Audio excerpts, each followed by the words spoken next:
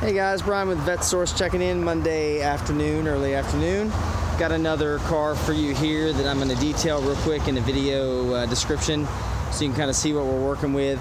This is a 1991 Corvette Coupe that we picked up for, as a parts car.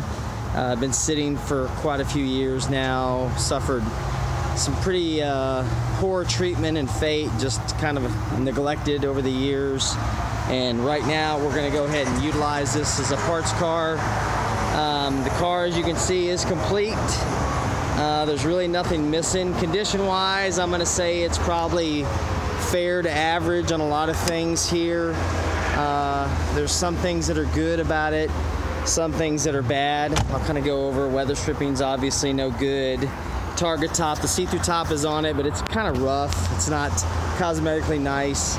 It's got some aftermarket Z06 rims on it that do have some pitting and some other things like that.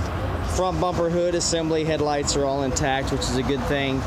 Uh, dash cluster does not work, unfortunately, but it will make a good parts car for us uh, to put some other cars back on the road or get them back up to speed again.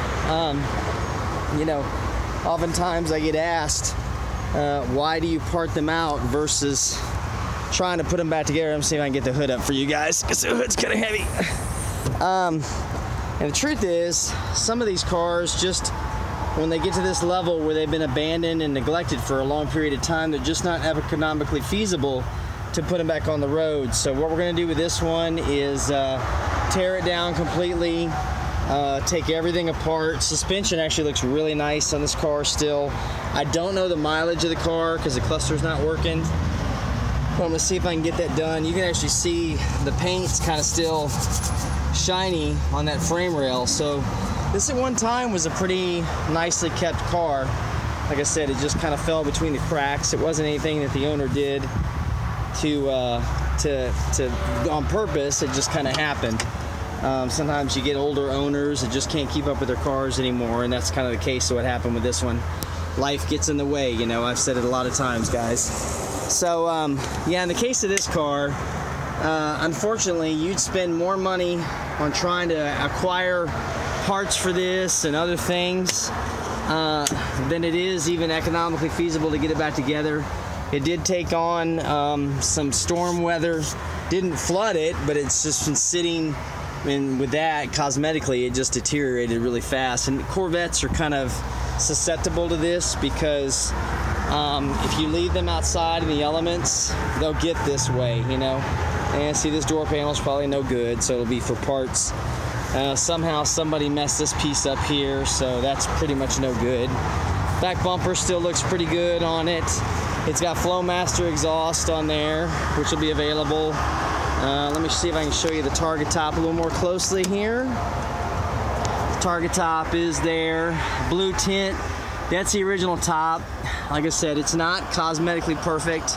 Weather stripping seals are pretty bad on it, but it's solid. It's not delaminated anywhere, so it's pretty good from that perspective. And those are actually getting a little bit harder to find. Uh, we got some good side panels here, fender panels. Got a really good front bumper assembly. The lights are still in it, need a little polishing and buffing. Uh, tune port assembly. The motor actually looks intact. It does crank.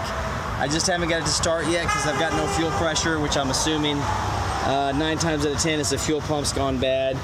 The inner fenders all look fairly decent. They're not busted and cracked. The original bolts are still on it. Um, you know, just overall a good harvesting type car to harvest for parts.